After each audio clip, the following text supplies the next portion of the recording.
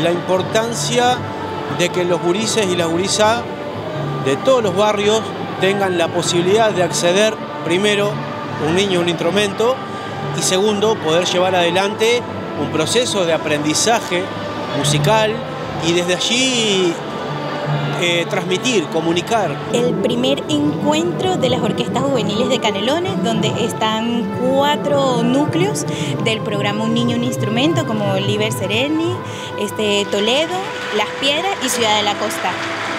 Estos cuatro ciudades tienen en, su seno alojadas orquestas del programa Un Niño, un Instrumento y bueno, una parte de cada uno de esos núcleos hoy va a estar representada en un total de 95 jóvenes que van a brindar un concierto para, el público.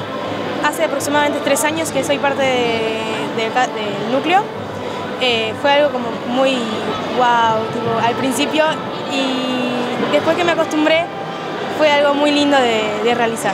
Y a mí me parece algo que, nada, está bueno y aparte es una forma de, formar niños en este ámbito de la música que es algo re importante en la vida social y artística, ¿no? Y bueno, estos eventos, por ejemplo, así que podemos vernos entre todos los núcleos. Está bueno porque es una instancia de conocernos entre nosotros y a la vez también compartir cosas lindas, como bueno, este concierto que estamos haciendo acá. Este es un proceso que venimos llevando adelante ya desde la anterior administración, donde empezamos con ese convenio con las orquestas juveniles del Chodre y bueno, la verdad que ha ido evolucionando muchísimo.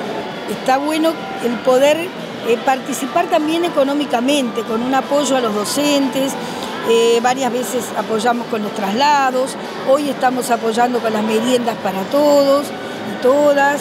Es un trabajo hoy conjunto, ¿verdad? Y que bueno, para nuestra ciudad de la costa es espectacular. Encontrarme con esto hoy en día y que participemos del municipio de Toledo para mí es un sueño realizado.